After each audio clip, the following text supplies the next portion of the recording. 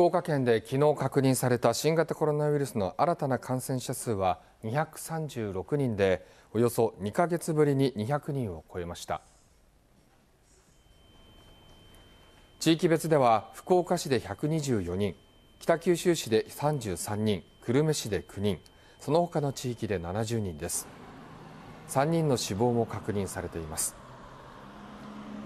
新規感染者が200人を超えるのは5月26日に211人が確認されて以来およそ2ヶ月ぶりです。